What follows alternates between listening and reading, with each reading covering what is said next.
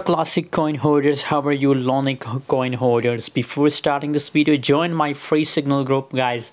Link is available in video description. Check out the description and join free telegram group guys.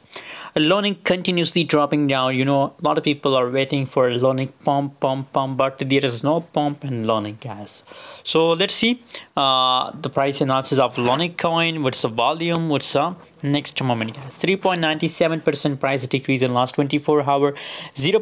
0.00001489 US dollar. That's the current price of LUNC. And if we talk about last 24 hour trading volume 23.31 percent 23 percent the trading volume continuously negative guys. So really bad crash occurred in a LUNC coin.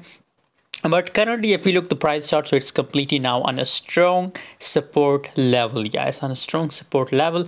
And here if we look so it's also going to make a uh, descending triangle guys. So wait for this confirmation. If it break make a breakdown. So in that case you have to open short position guys. So just wait for this confirmation yes thanks for watching. See you in next video. Don't forget to subscribe for more videos